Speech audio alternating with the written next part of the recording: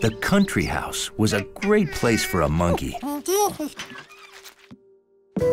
Though sometimes George ran up against the house rules. I, I should. Ugh. We don't draw on the walls. House rules, remember?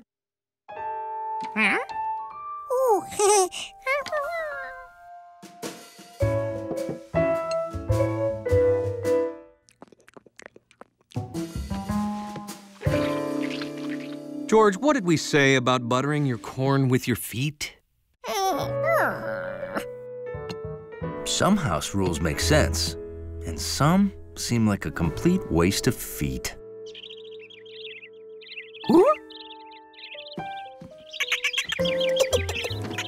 The animals in the tree didn't have to worry about any old house rules, which made it sound like a great place for a monkey.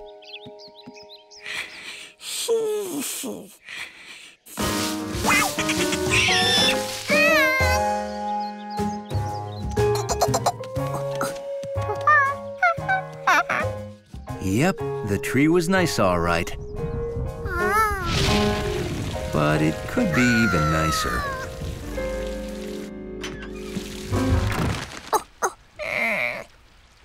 I bet a fluffy, dry towel would feel real good about now, huh?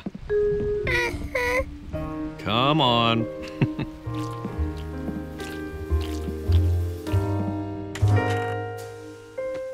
George couldn't live in a tree and stay dry like he could in the house. Unless he had a tree house. Then he could make his own house rules. Mm-hmm.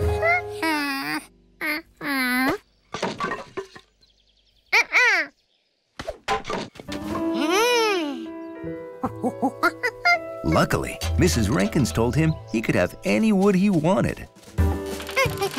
Mr. Quint wasn't home, but George had seen him get nails this way.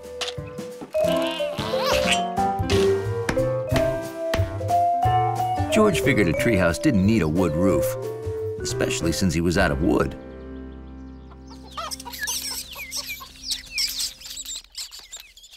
Yeah, how do you like your new... Oh, oh.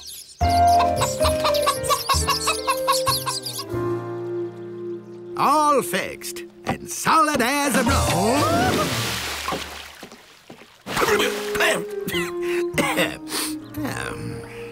Maybe you should have used nails. Oh, I'm dying to know what you've been up to. Can I look yet?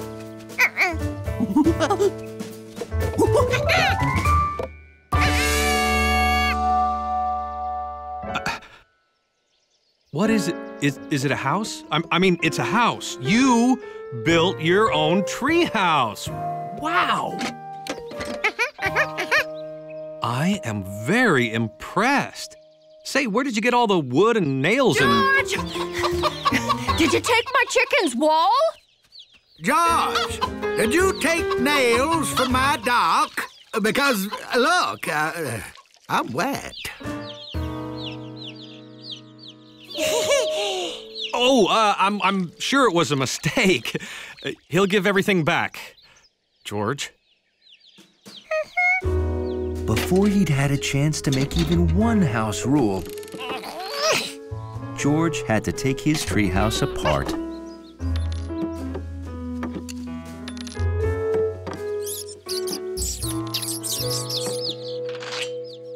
Wait, I said you could have any nails you wanted.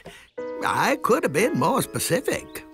Then I can make a new wall. That one looks like it belongs there. Now George had a place where he made the rules. Rule number one, you have to draw on the walls. And rule number two, always butter your corn with your feet. Oh, this this isn't easy. House rules. I know. Okay.